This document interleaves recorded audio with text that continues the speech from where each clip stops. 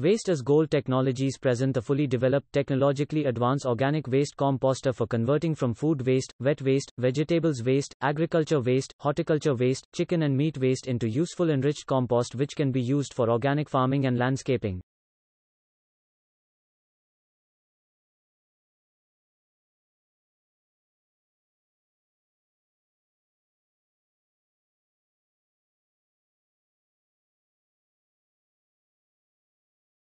Waste Is Gold was founded with a vision to provide reliable, long-lasting, 360-degree solution for disposal and treatment of all types of waste and reduction of the landfills.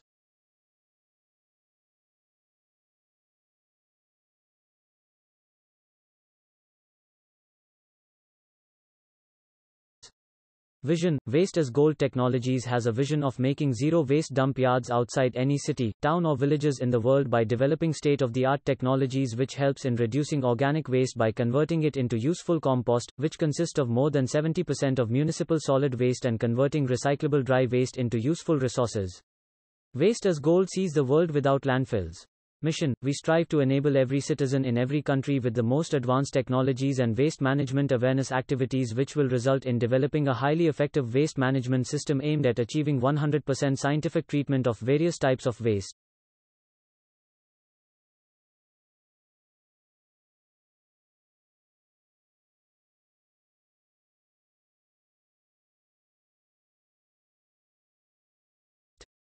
Manufacturing of organic waste composting machines, design and manufacture advanced non-polluting OWC machines with various capacities processing, deployment of state-of-the-art technologies to processes various types of waste in the most efficient and scientific manner purchase, sale of used commodities, ensuring that retrieved recyclable dry waste commodities are sold to manufacturers that will create further recyclable consumer goods data and analytics, monitor and gather data to maintain a complete log of waste generation and disposal.